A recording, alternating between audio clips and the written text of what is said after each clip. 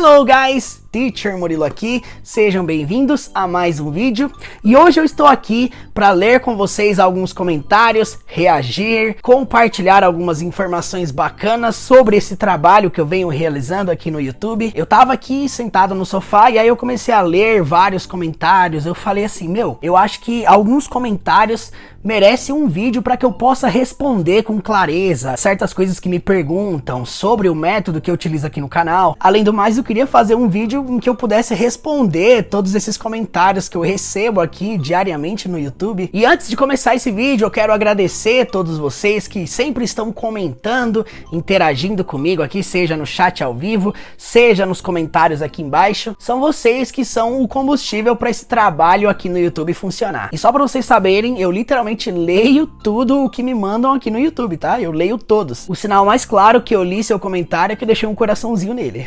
Certos comentários, para falar a verdade, verdade até me emocionou bastante e eu sempre tive uma perspectiva sobre o inglês. A gente tem muito a agregar um ao outro através de um comentário, através de uma experiência, através de algo que aprendeu, algo que vivenciou. E essa foi uma das razões de eu gravar esse vídeo hoje aqui com vocês para compartilhar algumas coisas e ler alguns comentários junto com vocês. Bora lá então. Primeiro comentário que eu queria ler aqui é o comentário da Márcia Conrado. Diz assim, ó: tenho 44 anos e essa é a melhor aula de inglês que eu já tive na minha vida. Você construiu um material de alto nível Parabéns, você é um excelente professor. Muito obrigado, Márcia. E sabe, gente, uma das coisas que eu queria refletir sobre esse comentário é que não existe idade, não existe limite para você em relação ao inglês. Não importa a sua idade, não importa a sua condição social, sua condição financeira, se você estudou em escola pública, escola particular, se você não tem condição de pagar um curso, não importa. Eu acredito que o inglês é uma coisa que precisa ser acessível para todos. Um outro comentário que eu achei bem interessante foi o do Maicon Ribeiro. Ele comentou assim: Eu vim pronto para dizer, só mais uma de tantas iguais por aí, se referindo à aula, né? E aí ele disse: Mas quebrei a cara, melhor aula que eu já vi, melhor didática. Muito obrigado, Maicon. Inclusive é uma coisa que eu sempre falo, eu sempre falei aqui no canal, né? Uma das minhas principais intenções é tornar o inglês algo simplificado, tornar ele acessível e fazer com que você enxergue que qualquer um realmente pode aprender inglês se estudar da maneira certa. Olha só, comentário do Adalto Costa. Ele diz assim, ó: como deve ter percebido na foto do meu perfil aqui, Moro em Londres há muito tempo, mas infelizmente tenho ainda muitas dificuldades com o inglês, mas graças a Deus encontrei um anjo que está me ajudando imensamente, ainda mais nessa quarentena. Thank you ever so much. Então, mais um inscrito, man. Muito obrigado. Adalto Costa, a foto dele ali é com a ponte do Rio Tamisa, acho muito legal. Sucesso na sua caminhada e sucesso para todos vocês que estão me assistindo, que estão em outro país fora aqui do Brasil. Inclusive eu quero deixar o meu recado aqui, meu agradecimento, meu profundo agradecimento para você que mora fora do Brasil, que acompanha meu trabalho também, que compartilha. Muito obrigado a vocês. Olha só o outro comentário agora da Lenira Gomes Lourenço. Ficou bem didático Parabéns, você não poderia, por favor, dar dicas das diferenças de pronúncia e significado das palavras do inglês americano para o britânico? É que Shrek é americano, não é? Eu preciso aprender o britânico. Sei que estou abusando, mas quem sabe possa te interessar a ideia. Mas gratidão, mesmo assim, já faz muito. Grande abraço. Muito obrigado, Lenira. Bom, gente, ó, respondendo isso aqui. É, Muitos dos vídeos que eu faço, a maioria deles, grande parte, são de filmes que são produzidos em solo americano, com sotaque americano, a grande parte, a grande maioria. Na verdade, a cultura pop americana tem esse domínio maior na sociedade, isso é muito comum. Mas nós também temos séries, filmes que são maravilhosamente sensacionais britânicas. Inclusive, eu busco sempre diversificar, trazer um pouquinho ali que algo que tenha inglês britânico, algo que tenha inglês americano. Então você que me acompanha aqui há tempos sabe que eu sempre busco diversificar alguma coisa ou outra. E estou, eu tento de verdade atender todas as sugestões que vocês me mandam aqui, que vocês me mandam lá no Instagram também. Lá no Instagram, inclusive, é onde eu mais recebo sugestão. Inclusive, se você não me segue lá, teacher.murilo, corre lá, me manda a sua sugestão de cena que você quer que eu traga aqui no canal. E vamos lá, gente. Olha só, o próximo comentário aqui que eu achei muito interessante. Somente por esta imensa paciência de repetir, repetir, detalhar e explicar o diálogo do filme com tamanha dedicação, já tem merecido muitos e muitos reconhecimentos. Parabéns e obrigado por tudo. Tomara que você tenha o suficiente êxito para poder continuar brindando-nos mais e mais aulas como esta. Saudação. Bom, ela citou uma coisa aqui muito interessante, a Ceissa Ursino. Ela diz o seguinte, ó. É, a paciência, é uma coisa que ela falou na primeira linha, né? Somente por essa imensa paciência. Eu quero primeiramente agradecer, inclusive, por esse comentário, por esse elogio. Eu falo, gente, para vocês que uma das coisas mais importantes que vocês não podem perder na jornada rumo à fluência é a paciência. Vocês percebem que é, às vezes eu pego cenas aqui de 20 segundos, 30 segundos e acaba virando uma aula de 30 minutos. Inclusive eu já recebi muitos comentários negativos sobre isso.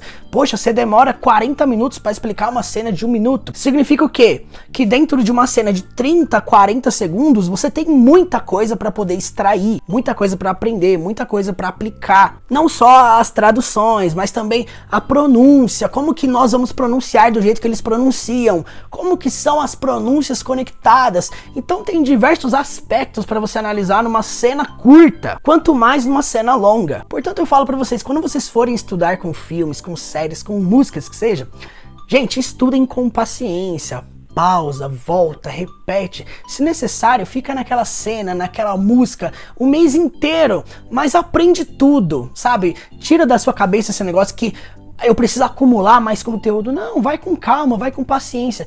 Não tem que acelerar as coisas. Eu costumo falar uma coisa, né? A fluência ela não é uma linha de chegada. A fluência ela é um caminho que você constrói, ela é uma coisa que acontece naturalmente e leva tempo sim. Então não vai nessa que você vai ficar fluente e dominar um idioma em meses, em semanas, em um ano. Não vai, gente. Então, por favor, estudem com paciência, tenham prazer naquilo que vocês estão fazendo Próximo comentário, olha só, o usuário aqui, ele se chama A Citizen from America.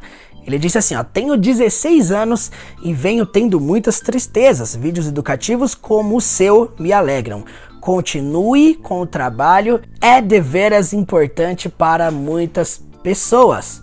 Ele comentou no final to make it count, fazendo uma referência à análise que eu fiz do filme Titanic, que inclusive foi um dos vídeos mais assistidos aqui do canal. Mas de verdade, o que mais me impressionou, o que mais me impressiona são jovens, são adolescentes que são interessados pelo aprendizado de um novo idioma. Talvez vocês não saibam, gente, mas de todo esse público que me acompanha aqui no canal, a faixa etária do 0 a 18 anos de idade, sem brincadeira, não dá nem 1,8%. E isso é uma realidade muito triste nos dias de hoje, porque infelizmente os jovens, os adolescentes não se interessam tanto pelo conteúdo educativo no YouTube. E eu falo isso sempre para as pessoas, sabe, gente? O número de professores que tem no YouTube, não só de inglês, todo dia tá surgindo um canal novo, tá surgindo alguém ensinando algo de um jeito diferente. Então, assim, eu fico muito feliz de verdade quando eu vejo um jovem se interessando por um conteúdo educativo no YouTube. Eu me lembro que quando eu trabalhava em escola de idiomas,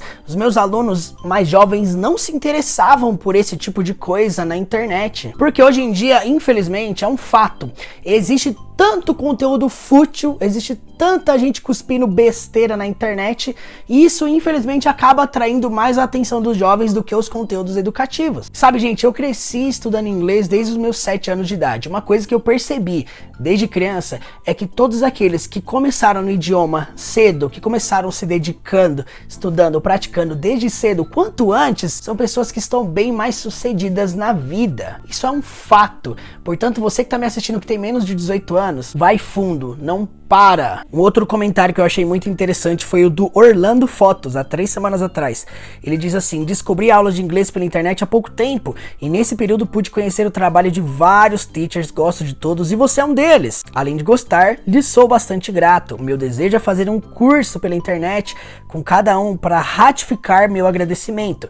Você em particular me impactou bastante, sobretudo pela clareza que transmite a sua aula, tenho aprendido muito. Muito obrigado e desejo a você que amplie seus horizontes no canal e na vida como um todo. Muito obrigado, Orlando Fotos. Eu acredito que um dos pontos principais, acho que para tudo que a gente vai passar na vida, tudo que a gente vai ensinar para alguém é transmitir com clareza. E isso é uma coisa que eu sempre busquei me certificar. Será que eu estou passando algo com clareza? Será que isso vai entrar na cabeça de quem está me assistindo? Essa é uma das coisas que eu sempre penso para qualquer análise que eu faço aqui no YouTube. Olha só, esse comentário é o do Marcelino Paco. Ele comentou num vídeo, inclusive comemorativo, que eu fiz aqui no canal há três semanas atrás, quando o canal completou três anos. Eu fiz uma mega aula aqui de cinco horas. Se você não assistiu, tá disponível aqui no perfil do canal. E ele comentou assim, ó: Hey teacher, hoje que acabei de maratonar esse vídeo que você nos deu de presente no seu aniversário de três anos de YouTube. Foi ótimo relembrar tudo, pois já tinha visto todos. Parabéns e que tenhamos você por mais 300 anos. Bom, primeiramente eu quero agradecer por você ter assistido todos. Para quem não sabe, são 181 vídeos até este aqui. Quer dizer, você tem um vasto conteúdo para estudar. E a minha ideia, sim, é continuar fazendo esse trabalho para sempre, né? Eu não tenho pretensão de parar, não tenho pretensão de mudar, não tenho pretensão de fazer outra coisa além disso. Esse é o comentário do Robson Skins, ele comentou num dos últimos vídeos que eu postei aqui no canal. É, inclusive foi um vídeo ensinando inglês com histórias bíblicas. Para quem é fã de histórias bíblicas, eu ensinei inglês com a história de Moisés, um pequeno trecho ali de 20 segundos que eu até fiz uma dublagem, fiz uma narração ali na história, ficou bem legal. Se você não assistiu, corre aqui nos últimos vídeos do canal. Ele comentou assim, ó: "Muito muito bom essa ideia de trazer histórias bíblicas em inglês. Algo que eu pretendo fazer com mais frequência, tá? Vocês que gostaram dessa aula, eu li todos os comentários, tá? Aguardem porque tem coisa boa vindo por aí. Alisson Castro comentou assim, ó: "Gosto muito dos seus vídeos, pois me ajudam muito. Uma ideia, você poderia fazer vídeos com músicas também, porque com músicas eu não achei vídeos bons assim. Valeu, abraço. Bom, primeiramente, eu já fiz aqui alguns vídeos com música, tá? Tem uma playlist aqui no meu canal inglês com músicas. Eu ensinei inglês com Michael Jackson, Queen, Beatles, Hilson. Então assim, tem alguns vídeos aqui já. Eu pretendo trazer mais, embora o YouTube, para quem não sabe, seja bem mais rígido em relação aos direitos autorais com trechos musicais. Às vezes acontece do vídeo ser bloqueado, ter que ser removido, por causa às vezes de 20 segundos de uma música. Portanto, é por essa razão que eu não trago análises de músicas com tanta frequência. Eu trouxe uma análise aqui, a última análise que eu fiz de música foi com a última música do Justin Bieber, Lonely. Eu fiz uma análise de uma música de 2 minutos e meio, um vídeo de 48 minutos, mas no dia que eu fui postar, o YouTube bloqueou logo na postagem, por questão de direitos autorais. Portanto, é por essa razão que eu não posto análise de músicas com tanta frequência, porque às vezes eu vou lá, tenho maior trabalho para criar o vídeo, para produzir, e aí o YouTube bloqueia. Então, com filmes e séries, documentários, entrevistas, é muito mais fácil trazer algo aqui para vocês. E aí, vamos lá, olha só que interessante, o Natan Machado comentou assim, ó, a ah, cara, verdade, eu amei muito com música, uma pena que o YouTube seja tão chato. Concordo com ele. E aí vamos lá, gente. Continuando aqui, ó. Guilherme Souza comentou assim, ó.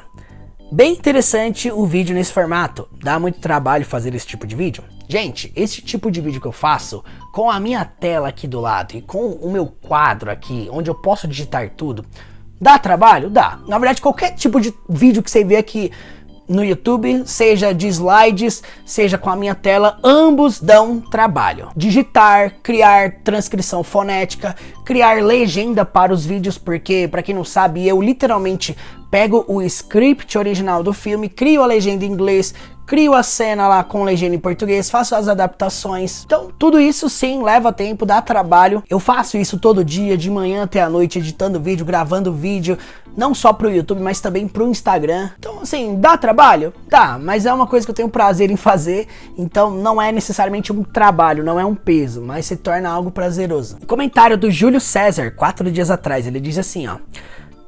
Acho que nunca vou aprender inglês, estudo há tanto tempo e nenhum progresso. Eu tenho certeza que existem várias pessoas, assim como o Júlio, que estão aqui me acompanhando, que já passaram por diversos métodos, diversos cursos e não conseguem alavancar no inglês. Se você é uma dessas pessoas que tem esse tipo de dificuldade, que tem esse tipo de travamento com o inglês, eu te convido a me seguir lá no Instagram. Eu tô dando bastante dicas para quem tá começando no inglês, para quem tá com essa dificuldade, por onde que eu posso começar, por onde que eu posso estudar com filmes, com séries, com músicas. Enfim, é uma dificuldade comum? Sim, eu passei 10 anos estudando em escola de idiomas. Quando eu saí de lá, eu tinha muita dificuldade para me comunicar. É uma soma de diversos fatores. Às vezes o problema é o método, às vezes o problema é o professor, às vezes o problema é o aluno. Na maioria das vezes, quase sempre é o aluno que muitas vezes não se dedica o quanto precisa, que não tem uma disciplina correta de estudos ali diariamente. E eu sei que a gente, como ser humano, a gente tem aquela facilidade em sempre culpar alguém, alguma coisa. Eu não consegui aprender inglês por causa disso, por causa daquilo. Enfim, gente, olha, eu nunca culpei escola, nunca culpei método. Eu sempre olhei para dentro de mim e falei assim: meu, eu preciso me dedicar mais. Se eu não estou me dedicando todos os dias, eu não tenho direito a reclamar de método algum. Porque se qualquer pessoa na face da terra tem o desejo, tem a vontade de se tornar fluente, o mínimo que a pessoa precisa entender é que ela vai precisar se dedicar diariamente. Vai precisar ter contato diariamente. Então, se a pessoa não está disposta a se dedicar ali diariamente, ter aquele contato com o inglês diário, que moral que a pessoa vai ter para culpar um método, para culpar uma escola, para culpar os anos que estuda e não aprende. Então, muitas das vezes nós precisamos fazer essa autoanálise. Peraí, será que eu estou estudando da maneira certa? Será que eu estou focando em realmente algo que vai ser útil, que vai ser relevante? Então eu estou fazendo esse comentário aqui não como forma de crítica, mas como forma de é, algo construtivo, que você possa se analisar e saber Será que eu tô indo no caminho certo? Se não estiver estudando da maneira certa, não tem problema. Ajusta a bússola e começa a estudar de uma maneira que seja mais produtiva. Se você tá me assistindo e você não tem o hábito de ter contato com o inglês diariamente, começa a ter. Olha só que interessante também, ó. O usuário Boa Pra Nós comentou. O Trump é perfeito para aprender inglês. Ele fala bem declaradinho. Concordo também. Inclusive tem aqui uma playlist só de vídeos de discursos, tanto com Trump, tanto com Barack Obama. Fiz uma análise também de um trecho do debate entre Trump e Biden, então tá aqui no YouTube também. É bem legal aprender inglês com Trump porque ele fala bem pausadamente mesmo. Ah, um comentário muito legal também foi o da Angel Flores Brasil. Olha só o que ela disse, ó. Acho que você deveria fazer o filme completo, mas dividido em partes. Um, dois, três, etc. Acho que ficaria melhor. Bom, gente, olha, eu já recebi essa sugestão centenas de vezes aqui no, no YouTube, no Instagram também. Muita gente já me pediu, professor, analisa um filme inteiro, analisa um filme completo, divide por partes, parte 1, parte 2. Só que assim, gente, se você parar para pensar, a, a média de, de segundos que eu analiso por filme é de 30 a 40 segundos, estourando um minuto. Eu peguei um filme como exemplo, um filme curto, um filme de uma hora e meia, que é, um, considerado um filme curto, por exemplo, o filme do Rei Leão. Para quem não sabe, o filme do Rei Leão, ele é composto de mais ou menos, eu fiz a contagem lá num programa lá, 6.600 palavras. Em uma análise de 30 segundos, leva um vídeo aí de 15 a 20 minutos, mais ou menos, fazendo esse estilo de análise que vocês estão acostumados aqui. Levando em consideração esse tempo e essa média, eu teria que pelo menos produzir ali mais de 200 vídeos só para analisar um filme completo. Então não é viável porque eu não posso trazer cenas longas e 200 vídeos já seria bem mais vídeos do que eu que eu tenho aqui no canal atualmente, somando todos. Então levando em consideração também que levaria muito tempo para analisar um filme completo. E esse é um exemplo. Tem filmes que tem 10 mil, 15 mil, 18 mil palavras, um filme inteiro. Eu sei que tem pessoas que gostam de romance, tem pessoas que gostam de ação, tem pessoas que gostam de Harry Potter, Senhor dos Anéis, super-heróis, enfim, música. Então assim, eu sempre busco trazer algo que se encaixe em diferentes níveis para diferentes classes. Ó, e um outro comentário que eu achei bem legal também, ó. Ah, adorei. Vídeo curto é muito bom. Agora ninguém tem mais desculpas de não aprender inglês porque não tem tempo. Então assim, tem pessoas que são fãs dos vídeos longos. Se você é fã dos vídeos longos, comenta aí que eu quero saber. E se você é fã dos vídeos curtos, também comenta aqui que eu quero saber. Então assim, eu já fiz análises de cenas em que o vídeo durou 3 minutos. E também já fiz análises em que o vídeo durou uma hora e meia. Obviamente que as aulas mais longas demoram mais tempo para serem produzidas. As aulas mais curtas eu consigo fazer com mais frequência. Teve um vídeo aqui no canal que eu ensinei inglês e espanhol na mesma cena. Né, é uma cena da série Elite, que é uma série que é completamente espanhol. Só tem um momento da série que eles falam inglês. E aí o Israel comentou assim, ó, inglês e espanhol é Fisk, colocou uma mãozinha assim. E depois comentou, inglês e espanhol é Teacher Murilo, e uma mãozinha assim. Eu confesso que eu ri muito quando eu li isso aqui. Para quem não sabe, a Fisk foi a escola que eu passei basicamente metade da minha vida. Eu passei 10 anos quase 11 anos estudando. Eu comecei lá com 7 anos de idade, saí de lá em mais ou menos com 17 anos de idade, quando tinha acabado o ensino médio. Então, grande parte das coisas que eu ensino hoje, que eu aprendi, eu devo muito a eles. E um grande detalhe também, né? Eu estudo espanhol atualmente e eu pretendo trazer análises também de séries espanholas, séries aí que são famosíssimas dentro da Netflix, né? E aí tem um comentário aqui do José Carlos Peixoto. Murilo, demorou, brother. O ruim de seu canal é a demora dos vídeos, o mais é show. Bom, aquilo que eu falei, né? Eu sempre busco trazer vídeos com frequência. Eu sei que às vezes demora 3, 4, 5 dias para sair algo novo, mas Acontecem às vezes diversos contratempos ao longo do, das edições, das produções dos vídeos. Às vezes acontece também no YouTube do vídeo ser bloqueado, como eu comentei aqui agora há pouco. Mas eu tô sempre buscando trazer com a maior frequência possível. Ó, o comentário do Almeida Santos eu achei muito interessante. Utilidade pública.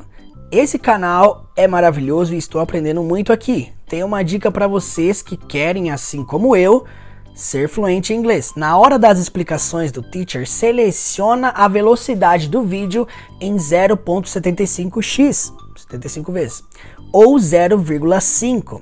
Aí vai de você, que fica mais fácil de você entender e acompanhar e na hora da pronúncia você consegue pronunciar junto. Eu faço assim e está sendo ótimo. Portanto, se você que me acompanha aqui não sabe que existe essa funcionalidade nos vídeos, você vai ver aqui no lado direito que tem como você atrasar o vídeo, deixar ele mais lento para que você consiga repetir as pronúncias. Eu recebo muito comentário assim, professor, você fala muito rápido na hora da explicação e tal. Dá para você fazer isso, tá, gente? Dá para você desacelerar o vídeo, tá? Para ele não ficar tão rápido na hora de você repetir, na hora de pronunciar junto. Mas é importante vocês que me acompanham ter essa interação na hora da pronúncia, não ficar só ouvindo, mas falar junto, repetir junto. Ó, esse é o comentário do Fábrica do Corpo Perfeito. Diz assim, ó: "Na minha humilde opinião, o seu método de ensino é mil vezes melhor do que muitas escolas de idiomas de grandes nomes que estão no mercado Acompanho seu canal há algum tempo e com seus vídeos meu inglês deu um up incrível. Muito obrigado. Muito obrigado, tá? Vocês já perceberam que eu nunca aqui, de forma alguma, jamais falei mal de escolas de idiomas. Eu não sou o tipo de professor que vocês vão ver aqui falando mal das escolas que ensinam com métodos presenciais, de forma alguma. Eu sempre enxerguei que o meu método de ensino aqui no YouTube, ele pode ser algo para complementar quem já está estudando. Muita gente me pergunta: é possível aprender somente com o seu canal? Dá para eu me tornar fluente apenas com o seu canal? Não, gente, eu não tenho um método autossuficiente na qual faça você não precisar de mais nada lá fora, de forma alguma. Eu falo, quanto mais canais, quanto mais professores, quanto mais perspectivas vocês tiverem de outras pessoas também, isso é muito positivo. Portanto, não se prendam apenas a um método, a uma forma de aprender, a apenas um professor. Se você puder investir em algo que vai te ajudar, invista. Outro comentário que eu achei muito legal também, ó. Tenho 12 anos, estou usando o celular da minha mãe, falo espanhol e estou aprendendo inglês e já sei falar o básico. E um pouco mais, mas quero aprender até ser fluente. Cara, a pessoa com 12 anos escrevendo isso, eu tinha que trazer esse vídeo só por causa dessa pessoa. De verdade, porque realmente não é algo comum de nós vermos nos dias de hoje. Portanto, você que deixou esse comentário, que estava usando o celular da mãe, porque tá escrito aqui Maria das Graças, desejo sucesso para você, que você realmente alcance esse seu sonho de se tornar fluente na língua inglesa. Comentário do Barreto Dimas. Melhor canal para aprender inglês se divertindo. Obrigado, primeiro vídeo e tive que fazer a inscrição e ativar o sininho. Vou agora ver os outros. Uma coisa muito importante aqui, se você está me assistindo, você é inscrito no canal, mas não ativou as notificações, não ativou o sininho ali, provavelmente quando eu postar vídeo novo, você não vai receber notificação. Portanto, ative a notificação. E ó, um grande detalhe, se você não dá like nos vídeos, se você não interage, não comenta, o YouTube para de recomendar os vídeos para vocês. Portanto, se vocês querem receber as notificações, se vocês querem receber notificações dos meus vídeos aqui no YouTube, Dá um like, gente, comenta, interage para que o YouTube entenda que você tem interesse nesse tipo de conteúdo. Andréa Garcia comentou assim, ó: "Muito legal, eu uso seus vídeos com meus alunos, eles adoram. Eu recebo muitas mensagens, muitos e-mails de professores que utilizam meus vídeos dentro das salas de aula, dentro desse novo período que as pessoas estão utilizando é, plataformas online de ensino. Muitos professores estão utilizando meus vídeos. Eu fico muito feliz com isso porque eu recebo comentários dos alunos, recebo comentários dos professores. Eu fico muito feliz em ajudar. Inclusive, se você é professor e está aqui me assistindo e precisa de ajuda e suporte para algum material como este, Mande mensagem para mim lá no Instagram, eu estou respondendo todo mundo. Busco ajudar todo mundo que me manda mensagem perguntando algo sobre as aulas, como que eu consigo cena de filme, como que eu baixo as coisas da internet. Manda mensagem para mim que eu vou ter o maior prazer de te ajudar. Olha só, a Gabriela Duarte comentou assim, ó. É a melhor maneira de estudar inglês mesmo. Já estudei sete anos em cursos e estudo por conta própria. E ainda nada clareou tanto na minha mente como esse método. Show! Bom, muito obrigado. E ó, uma coisa que me ajudou muito, eu me identifico demais com essa experiência. Eu estudei muito tempo em escola, mas uma coisa que abriu minha mente foi estudar por conta própria em casa, ter essa rotina diária, ter contato com coisas relacionadas ao inglês do universo pop, da cultura pop, filme, série, música. É importante você investir nisso também diariamente. Você pode investir rios de dinheiro em curso, mas se você não estiver disposto a ter esse contato diário por conta própria em casa, pode ter certeza que vai levar muito mais tempo para você alcançar um nível eficiente no inglês. Portanto, a prática diária faz muita diferença. E o último comentário que eu queria ler aqui é o do Fábio Aranha. Ele diz assim, ó: Murilo, trabalho muito bem feito e de forma digerível. Já desisti inúmeras vezes de escolas de inglês pela monotonia das gramáticas, mas agora me empolguei novamente e sinto que estou desenvolvendo interesse. Obrigado pela ajuda. Não sei se já foi feito, mas gostaria de ver alguma cena de Lucifer. Bom, essa série eu vou trazer uma cena dela em breve aqui no canal, já separei, já escolhi. Mas acho que o, o principal que eu mais gostei desse comentário é por despertar interesse no idioma. Uma das minhas principais intenções aqui nesse trabalho, é, além de ensinar, é despertar interesse para algo que é importante. Portanto, quero agradecer a todos vocês que me acompanham aqui diariamente, que interagem, que curtem, que comentam, que me mandam mensagem. Saibam que eu leio literalmente todos os comentários e em breve eu farei outro vídeo desse respondendo mais comentários aqui. Não se esqueçam de deixar o like aqui nesse vídeo, de comentar o que vocês acharam. Portanto, thank you very much e até o próximo vídeo.